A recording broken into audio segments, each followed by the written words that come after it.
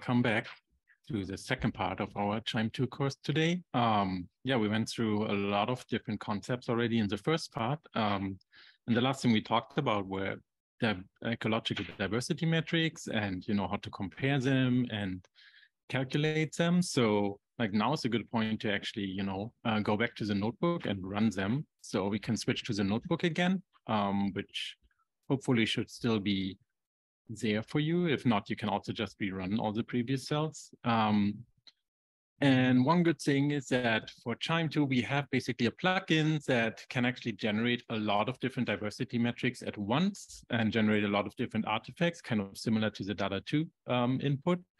So um, the ones that we were looking at is the core metrics phylogenetic um, diversity plugin action. Um, and as an input, it basically takes the abundance table generated by Dada2. So the abundance table in Dada2 basically had the counts for each individual ASV sequence.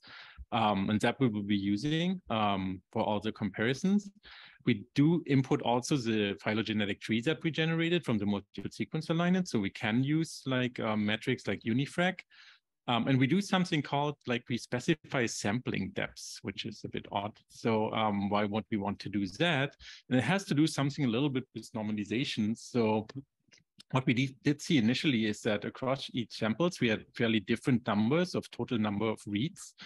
Um, but the original abundance counting just will, you know, counts reads for each ASV. But that creates a little bit of a bias there because, you know, if you compare a sample that maybe had 10,000 total reads to another sample that had 100,000 total reads, then you might observe that most of the ASVs in the sample with 100,000 total reads is more abundant simply because um, they still have the same relative abundance, but they kind of have a higher total read depth in the sample or higher total read count. Um, and specifically because there isn't really much information contained in that. So you might maybe say, oh, well, one sample has 100,000 reads. Maybe there was more DNA in the sample or there was like more bacteria in the sample total, but that's not really true because the one thing we do before sequencing is usually normalize the amount of DNA. So for every sample, we put in a constant amount of DNA.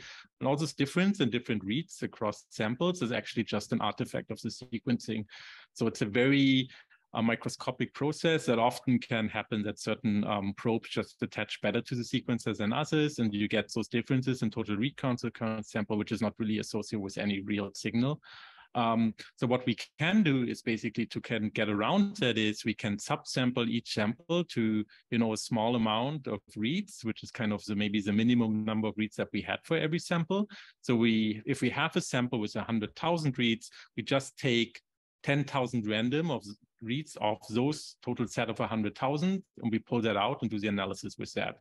Um, that is often called rarefaction. So it kind of you know, subsamples it all so that we have the same total number of reads in each sample. There, you know, for certain statistical analysis, that might not be the best strategy. It works well for like visualizations, like PCOAs and things, but um, there might be also other strategies and we'll look at different methods to normalize as well later on but that's something that we will do here. And then we also pass in a metadata file now which is the first time we actually do that. So metadata file like i said um, includes information about the samples. So in our case it maps the sample to the community that sample came from and gives some information about where those communities usually get their food from. Um, and that we will use so we can kind of for instance um, compare across the geographic regions that we sampled from um, in our later visualizations. And then we generate an output directory for it. Again, that's the same strategy as we did for day um, earlier. So if one of the actions generates a lot of different artifacts, we just specify directory and it will just save them all in there. So we can run that. Um, it will not take too long, even though it does go through quite a lot of calculations, like, you know, generating all those different metrics, um, the alpha diversity, beta diversity, and so on. And the first thing we could do, for instance, after that is to, and you see all the um, artifacts that are generated by it. Um, the first thing we could do is, for instance, try to, you know, look at the Shannon um, diversity across those. Um, so basically, we could take the alpha diversity, which is a single value for each sample, and now we could say, like, for those samples coming from different communities, how do they compare? Um, and we can look at that by using the alpha group significance action from the diversity plugin, which essentially runs the test for that. And I think it runs the Mann-Whitney test by default. And we'll also create like a box plot of the um, Shannon diversity across those groups. So same strategy as before. This was saved into diversity and then alpha groups QZV. So we will look for that folder. We might have to again update it to actually see it.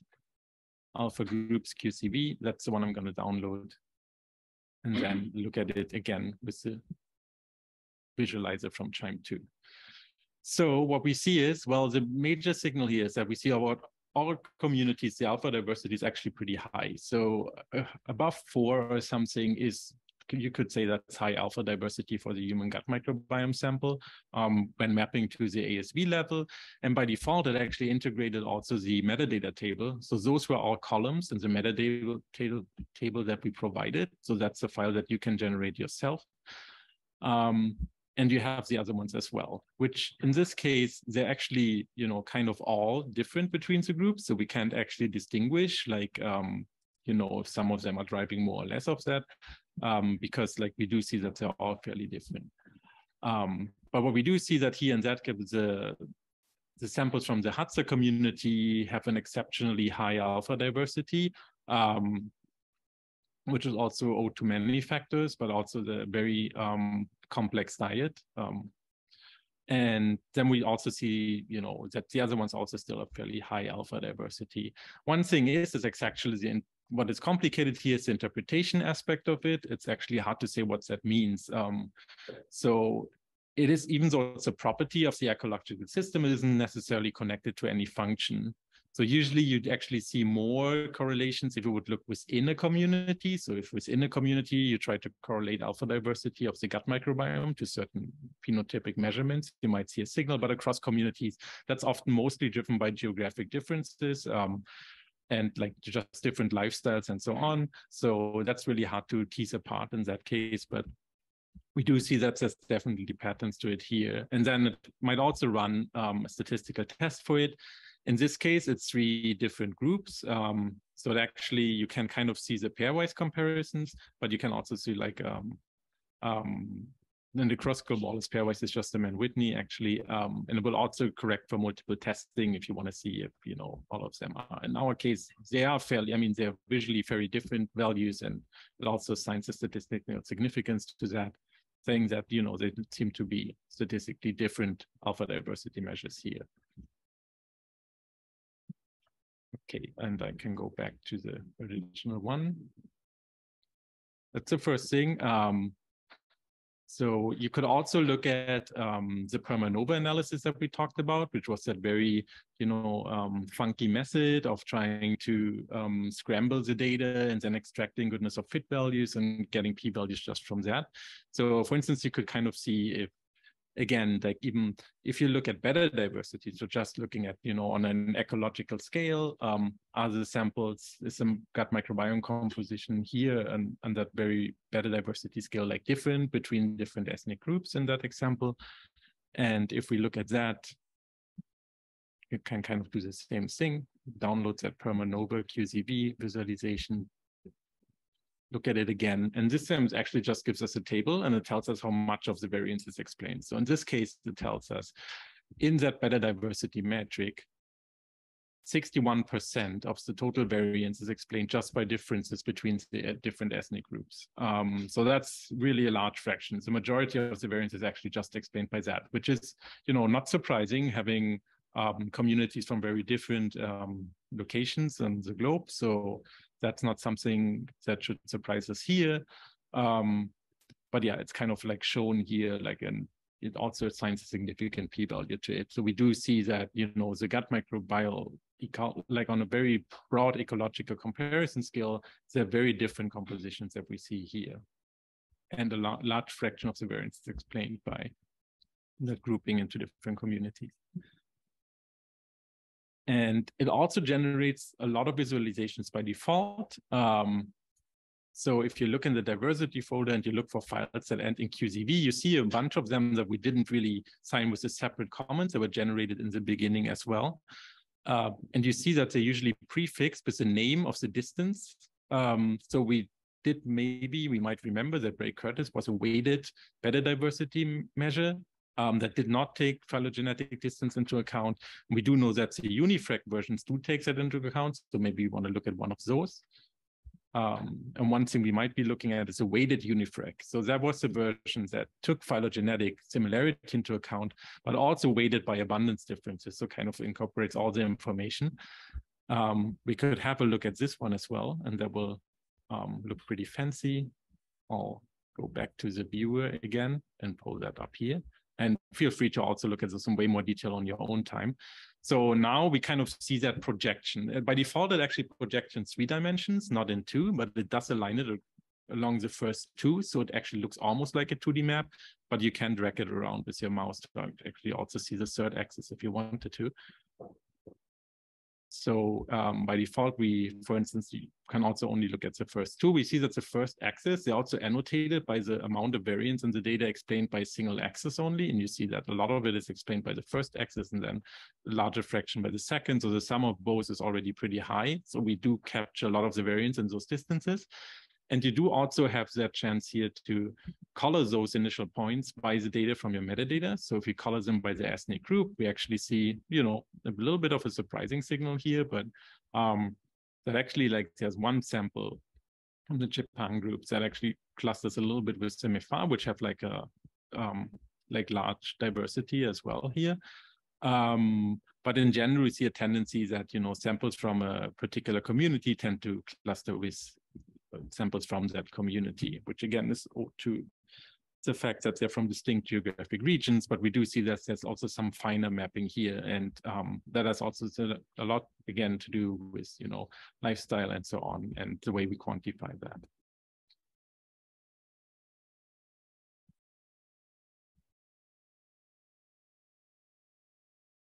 Okay, so that's how we looked at that. Um, interpretation is a little bit harder here. Um, still we don't really know what you know we we can see that there may be differences but it's like another challenge to really see what that means um, and how do we interpret it. And we also have to see that a lot of you know the social um, aspects of that when should be considered as well. So and then that gives us like a very global description of the different samples but we now might be getting to the question um, you know who's really there? So who's at the party um, who's present in the microbiome um, and try to quantify that as well. So what organisms are present in our sample. So how would we do that? So yeah, maybe you can go in Slack chat if you have some ideas how you would usually do that. So the information we have up to now is just what we got from our Dada2 analysis. So we do have the sequences of the individual amplicons, but we don't really cannot map that directly to names. So what would be your strategy there? So what would you do to go from a sequence of an amplicon to an organism's names, essentially? For instance, to be able to tell, oh, that sequence came from E. coli, for instance, or from Bacteroides, and so on. And there might be some suggestions. Um, and while those pour in, let's talk a little bit about taxonomic ranks. So usually how that works is that we in bacteria, it's actually quite complicated to really, you know, group them into distinct clades like that. But in really general terms, what we have is usually we have a taxonomy. Taxonomy is kind of like a hierarchical ordering of namings. Um, where names are usually contained in larger groups again, and those groups are contained in other groups. Um, and a good example of that is like what we usually know when we assign, for instance, species names and genus names, right? A species name is a very specific name. It's not the most specific you can go. The most specific is usually a strain, which means like a unique genome. But then we do know that, you know, most individuals in a species group usually have very low um, genomic di um, divergence. So they're pretty similar on a genomic scale.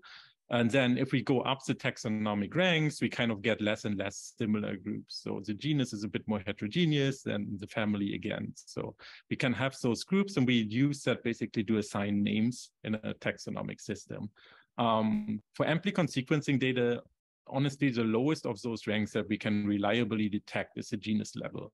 Like within a genus or within a species, the V4 region just doesn't differ enough for instance, that we could really detect those reliability. Sometimes you can assign a species to like a few of the ASVs, but that fraction is usually really low. So you might only represent 10% of the total reads in your sample, whereas on the genus level, you get the majority will get a genus assignment. So um, maybe one of the ideas that was mentioned in the chat is that essentially we could look for, you know, what is the actual sequence of the 16S amplicon in a reference genome, right? Like when that organism was sequenced and really well assembled and curated, like we could take the known sequence and compare to the ones we actually found in our sample and then say if they're very close, maybe that organism is present. That seems intuitive, right? But it doesn't always work well in practice. And why? Well, the reason is mostly because those reference databases might not really, you know, correspond to our organism. Um, so it might actually not have been observed, but there's also, you know, might have been some divergence. So even though our reference genome was maybe for the lab strain of E. coli, what we actually have in our samples is an E. coli strain that was always living in the human gut. So it's not really the same organism that was, for instance, sequenced in the lab but we can still kind of use those database of known genes to kind of come up maybe with a slightly smarter way. So instead of saying I want a perfect match to a sequence that I've seen in a reference database, I can ask are there characteristics of that reference database sequence. And one idea would be, for instance, that a lot of bacteria adapt, for instance, the usage of um, codons for a particular environment. So the, as we know, is that the genetic code is degenerate, meaning that like different codons of nucleotides can still encode for the same amino acid. And that can kind of create like um, like a strategy. For instance, really basically, if you had that idea, you could base it on that. You could, for instance, ask, okay, um, is the codon usage, for instance, in the 16S variable region different uh, or very specific to specific, species? And we can actually generate generalize that even more. You can just ask, well, if I just look at short subfragments, what does that look like? And that strategy is kind of what's used in a multinomial naive Bayes. That sounds super elaborate, but it's actually just that basic idea. So you take a longer sequence and you just um, subdivided in all possible smaller subsequences, and those are often called k-mers um, for like a small substring of the sequence with length k. So for instance, a two-mer would be all um, subsequences with two nucleotides in it, and a three-mer would essentially be a codon, right? Like three nucleotides. And that's kind of shown here as an example. So you can kind of slide over the sequence and just count how often each of those subsequences appear. So for instance, here in that longer sequence, we see we have one ACG, two CGCs, and one GCG. And it turns out that if you take those k-mers and you make a profile out of it, so you kind of say, oh, how likely is that k-mer um, to appear in a certain 16S gene from a certain species, for instance, you see that they're very specific. And it's like a little bit more generalizable than just looking at the exact sequence match, because it does allow still for that sequence to have diverged a little bit, but it takes into account that, you know, as evolution goes on or as you know strains diverge maybe they usually don't tend to do it too much so we kind of observe a lot of that profile is kind of maintained so what we do from a reference database is we build up that reference model where we kind of have, for instance, two different taxa in the database. Um, I can might take into account that a taxon is very overrepresented in the database. Maybe I see that, you know, I have 15, 16S sequences from E. coli, but only one from Bacteroides. Maybe that's something I want to take into account. And then I can kind of build up the frequency or the probability of observing any of those k-mers in that particular sequence. So in the first case, we kind of know that we had like, you know, a one in four chance for an ACG. We have a 50% chance for um, a CGC actually, sorry, that's kind of turned around here. And then the GCG would be a force as well. Um, but essentially, you can kind of count those examples and you can do that for each taxon. You get those profiles, the probability distributions of k-mers. But why is that in any way informative? That just tells us how likely it would be to observe a certain k-mer from a different taxon, but we actually want to do the opposite, right? We want to put in a query sequence and then know what's the probability that that query sequence came from a specific taxon.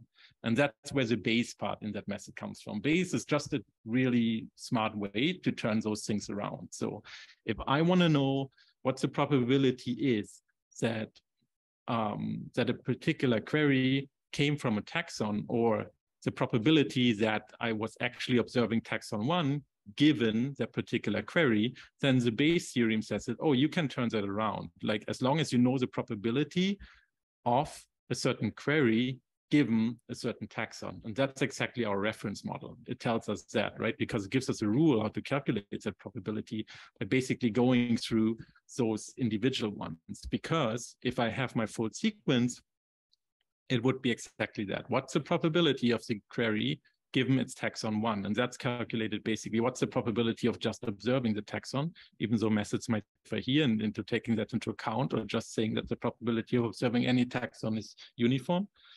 Um, and then it, well, that would be the probability of observing one ACG, right?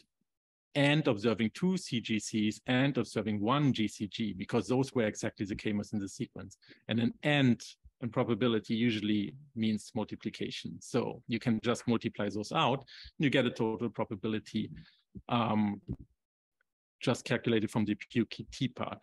Then there is that probability of T part here still in the formula and also the probability of observing a query. Usually we just say we don't really know the probability of observing a certain sequence, but we will just assume that they're all kind of equally probable.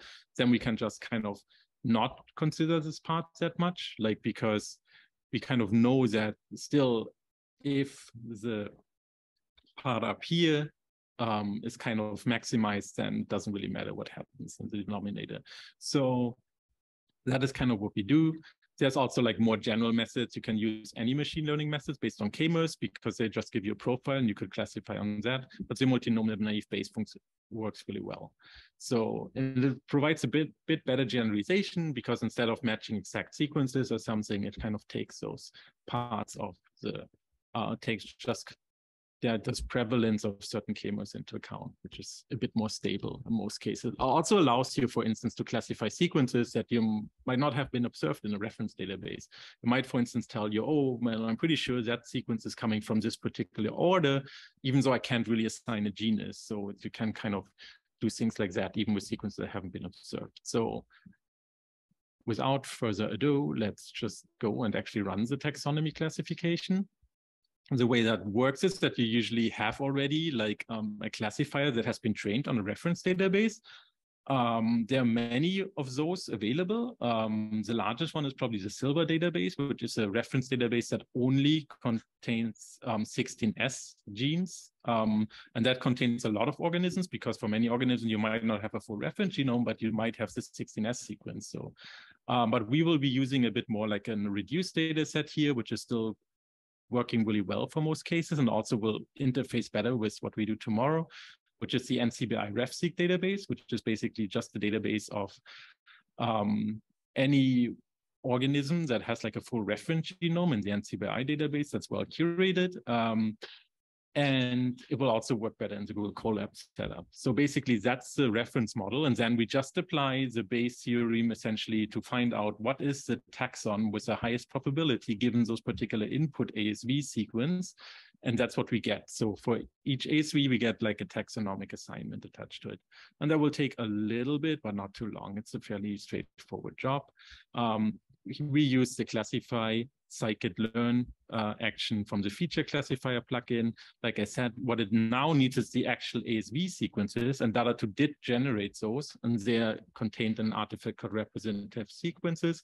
We use our NCBI RefSeq that was kind of um, trimmed at the genus level, like I said, because that's the finest level you can reliably identify, and was actually trained also only on that subsequence that corresponds to our amplified regions. So it, you kind of see the primer pair that we used here appearing again. So that gives a little bit of higher um, sensitivity than, for instance, using the full 16S gene, because that would also take into account the V1 regions, also conserved regions, but we actually only do it on that particular fragment so then we get like a taxonomic assignment. And that kind of for the first time allows us to actually look at like, you know, not only which particular bacterial taxa were present in the individual samples, but also how much of each of those taxa were present. And we do that by basically combining that information of the assignments of taxa with the abundances we get from Dada2 and generating a visualization, which is a bar plot. And that is in the taxa plugin and it's the bar plot action. It takes as an input two things, the abundance table, we got individual for the ASVs, and then also the tax assignments, so the taxonomic assignments for the ASVs that we now generated. Again, we put in our metadata as well that kind of annotates the samples a little bit, and we get a visualization out, which is, well, we will see how that looks like. We might have to update it. Um, it should appear in the top level of the materials directory. So you should see that taxab plot file here. We can download that and same procedure as before. Oops, clicking it's the wrong thing, but then pulling it up here. So now we kind of see for each of our samples, we see it, and by default, it takes like the highest taxonomic level. Um, in here won't necessarily tell you what's like the kingdom and so on. You can kind of infer it because it prefixes it in front of the name. So here we see the key, the kingdom. Usually the V4 region is very specific to bacteria. It doesn't really do a great job of detecting archaea, but there is a few archaea that can be identified based on that if they're present in the database. We see that like for one of the samples from the MEFA, we do see like a certain relative abundance of archaea, even though there's probably more in other samples as well that just wasn't detected here because uh, it's not really great in getting to archaea out. But we can also reduce that. For instance, we could look at the phylum level, which is usually, you know, good indicator initially to look at because you kind of know that um, those are not too many groups, so we can still color them well on a bar plot. Um, and you can also sort samples by, for instance, uh, ethnic groups that were sampled from. So we kind of get them a bit nicely grouped. And we do see, again, that also here we see quite some differences. Um, and actually, so in those communities, you might see that, you know, a lot of things that you might have heard, maybe from, you know, the typical European and North American population doesn't necessarily extrapolate well to like those samples from communities that are not really um, represented well in the existing literature. For instance, you do see actually large abundances um, of Firmicutes in the Hadza but the Hadza still live on a mostly very plant-based diet. Um, meat isn't really that often consumed in the Hadza communities. Um, which is, you know, like it, often you hear rules like, oh, high firmicutes is for high meat consumption or something. But it, it, does tell us there's many ways to assemble an ecological system or an ecosystem, like in the human gut, and a lot of the rules don't really necessarily extrapolate well into um, communities that are understudied. Um, we do see that those, even on the phylum level, we do see quite some differences across the different populations. Um, again, due to many reasons. Um, so there's definitely quite some heterogeneity going on here. And you might map that even to finer levels. You could look, for instance, at the finest levels that we have here is the genus level. You can kind of see that, for instance, um, like the some of the Chepang MEFA samples have a lot of high Prevotella abundances. Um, which is kind of almost dominating here the microbiome. Whereas like um, the Hadza samples, you see really like consistent with that alpha diversity measure we observe. We also see that, you know, they have a huge variability of different bacterial genera that live in their guts.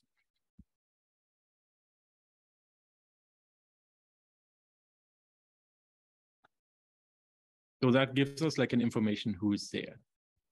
Um, one thing you might want to compare is you might want to, you know, say, okay, what if I take my abundances that were mapped on the amplicon sequencing variant, um, variant level and kind of want to collapse it maybe on like a higher taxonomic rank.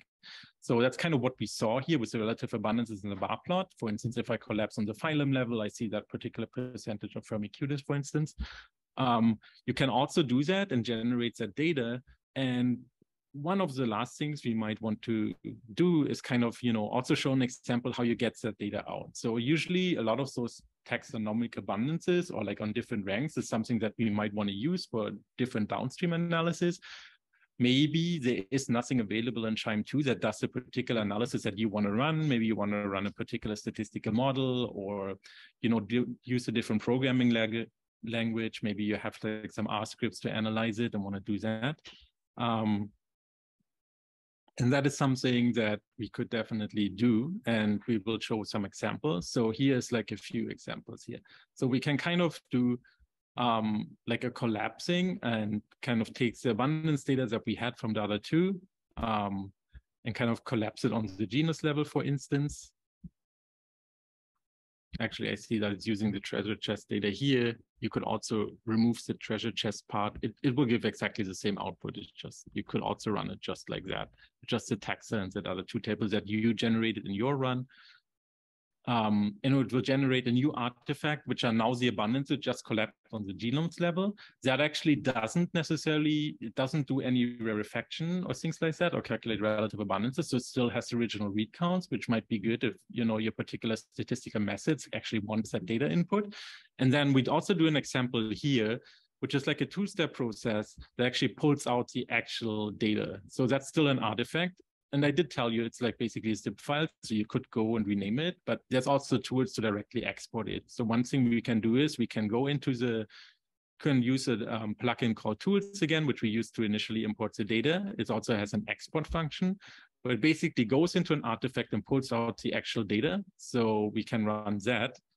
Um, and then the first thing that would do is only, you know, pull out that particular data format that is here, which looks a bit odd in our case. So what we will see is if we look at that in our exported folder now, is that it generated a file called dot biome, which is nothing we would be able to look at. It's like kind of a very compressed version of those very large abundance tables, but we can kind of add in a tool, like basically there is a tool that comes with QIIME 2, which is called biom, and that actually can convert that table in that compressed format to something you kind of know. And we will output it to a tab separated file, which is just, you know, something we can read with almost any other tool. And that's what we did here. So we also have that genus TSV table. You could kind of look at it and kind of what it does is it now combines those information. So you kind of get the taxonomic information down to the genus level, and then you get the read counts in every single sample. So you could say that, you know, in the first Chepang sample, we had 3,697 reads that were mapped to Prevotella genus, for instance.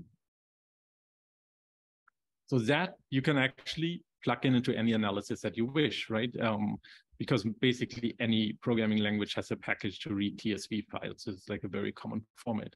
And without like really understanding everything that's going on in the next fragment of code, I will walk through you through it to it, but you don't really need to be like a total expert in Python or what packages to use. It's just to give you an example, like how you can use that data and kind of use it without kind of maybe using QIIME specifically. So that's actually a bunch of Python code here. I don't really have to prefix it with the exclamation mark because by default Jupyter just executes Python code. So I use like a bunch of packages here. Um, maybe the important ones here are pandas in this case, which is just a package that can read basically data frame format data from a lot of different formats, including TSV files. We have Seaborn, which is a plotting library to do a lot of different visualizations. So we kind of use that pandas here to, for instance, first read the table, which gives us like a data frame. Um, and we can do a lot of stuff with that. Like a lot of helper functions, pandas. One thing is we could, for instance, um, split this kind of longer string. So if you remember that what it looked like, we have all those assignments here down from the kingdom level down to the genus level. So what we could kind of do is if we want to reduce that a little bit, let's assume we only want the genus level. So we only want, for instance, the Prevotella part here. So we could kind of split it on the semicolons and also strip away the leading genus identifier, the G underscores, because then we know we already extracted the genus. That's kind of what the code here does. We can also remove ASV sequence that did not have a genus assignment. Like I said, those databases can generalize, but they might not be able to map to really low ranks. So if they're very low, not a lot of representatives of the specific uh, genus in the database, or the particular sequence that you found isn't really represented well by those, then you might actually not see an assignment on the genus level. So we kind of remove those as well that have like an empty genus entry. So that either start with two underscores, have like G or two underscores. Those usually mean there's no assigned genus. Um, we can, for instance, take 50 random genera from that set and just because you know we we want to be super elaborate like instead of for instance using a rarefaction we can use a different form of a normalization method which is called a centered log ratio transform. It sounds super complex but it essentially means is you log transform the data and then you subtract the mean from the log of the data. Um, what that does is basically it also kind of takes out a little bit that library size, so the, the amount of different reads across the samples, because like you could assume that this is just a random thing that like, makes everything more abundant in a sample with more reads, and that will be basically removed by that technique. There's a lot of like tech there's a lot of technical or theoretical region why that is a good transform. It's also really good for things that sum up to a particular sum. So you usually know that all the relative abundances sum up to 100%. Um, it kind of removes like spurious correlations a little bit that can appear because of that. But yeah, it's a different way to normalize it just. And you could use any other methods that you see fit here. Just an example how you transform the data into something that is now, you know, a log transformed abundance minus the mean log transformed abundance. And it's applied to each single sample here. So essentially what that new normalized data mean is means is if we see a value of zero, it means that's basically as abundant as the average thing in that sample. If it would be negative, it means that particular genus is less abundant than the average. Uh, if it would be positive, it means it's more abundant than the average. So it's kind of still has that information of what is like high and low abundance in the encoded, but kind of normalized. So you can actually compare a bit better between different samples. And then we can use like a really fancy heat map function from the Seaborn thing that kind of like draws like an informative heat map that shows us in each sample which are those 50 genera and how abundant are they at the same time. And like if we run that, it will create that particular custom visualization for you. And you could like tune that with different things. So basically what it will tell you now is, and as here like the, the ID of the particular um, genus, and then here you kind of have the different samples. So you can look at a particular genus in a sample and we'll kind of color them by the abundance, going from very dark uh, towards kind of like a high yellowish orange color for very abundant things. So for instance, here in that sample, we see that Faecalibacterium is pretty abundant in all of those samples, but with quite some differences across different samples, right? Um, and you do kind of so that plot will look very different for each of you because essentially it creates a run, random subset, which will, you know, come out as something different for all of you. So you will look, every one of you will have a very custom plot, their own personal um, list of genera that they're kind of analyzing here. But what you will all see is that there are always those patterns of some of those genera kind of present in all of the samples. So they're very ubiquitous, but then you will see some genera that are very specific, sometimes even for a single sample. They only appear there in really high abundances. Um, you will see that some of them appear in a particular group. So in a particular ethnic group, you will see that genus pop up with a slightly higher abundance. And then some of them might, you know, have like kind of like a hybrid pattern, which appear maybe in two groups, but not in the other and things so on.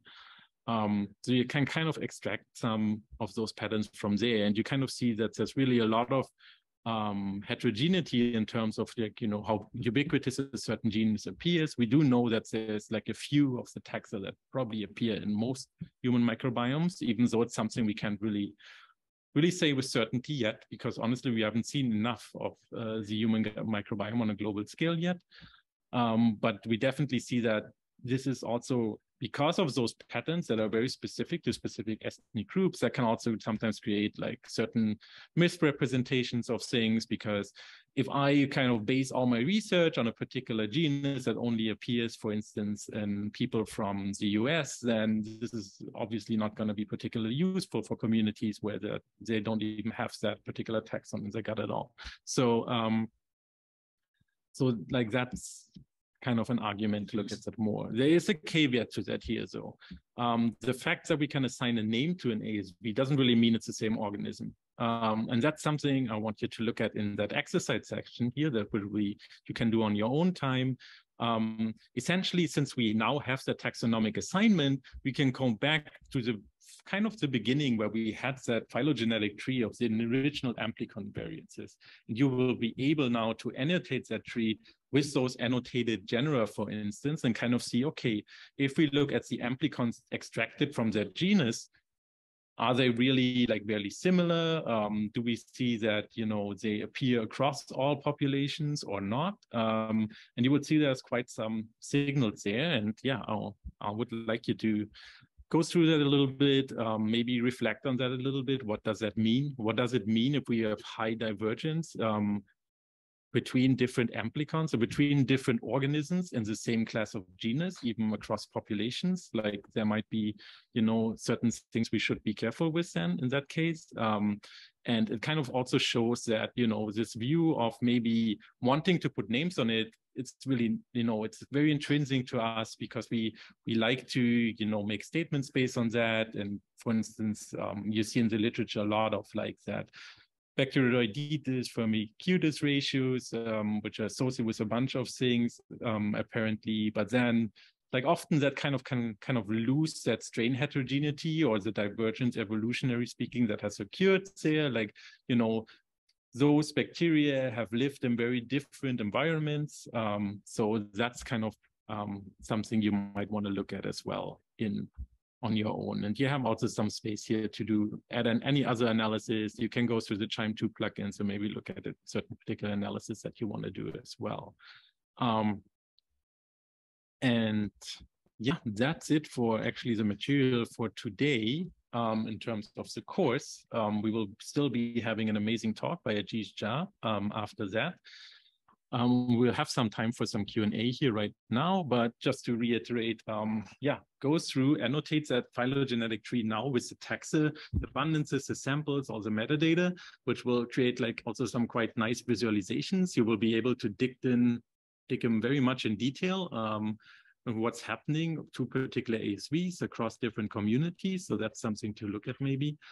Um, and there's yeah, a lot to learn from that as well. And also to tease maybe a little bit what will be happening tomorrow, another question is even if you would observe the exact same organism or the same microbe in two different, um, you know, the gut of two different individuals, would actually behave the same? Because we know that microbes, you know, are very adept at reacting to changes in the environment. So, like almost all bacteria have different ways of to obtain carbon or nitrogen and to translate that into biomass. But that will also kind of change what how they act in that environment. For instance, which metabolites are produced as a side effect of that.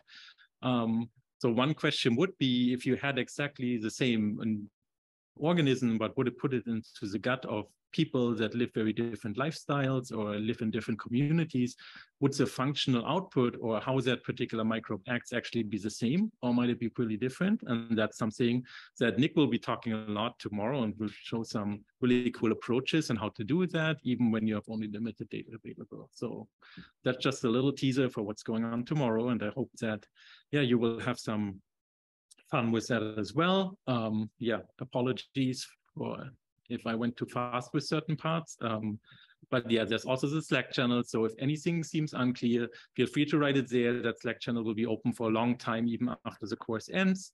Um, so even if you see that it's in a video recording right now, feel free to ask questions there still. And I will be there as well and answering questions. And yeah, happy to receive any feedback that you have as well. And with that, um, I just want to also thank like all the people that participated in the course and Sean kind of alluded to that as well. But just the fact that you just saw my face now, maybe more than you wanted to, um, does not mean that this like the course material or any of the things that you did today were you know, just designed by one person. A lot of different people um, were involved in creating all those teaching materials and making it accessible.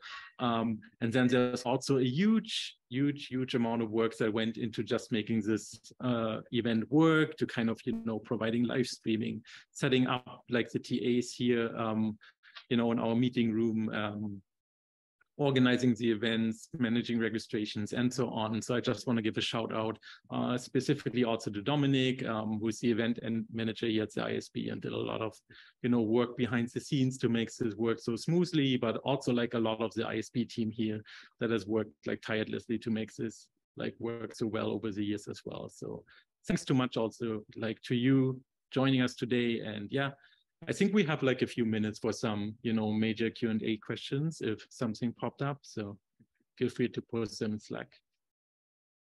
Yeah, so the, I think one that came up was this controversy about prayer action. Yes. appropriate.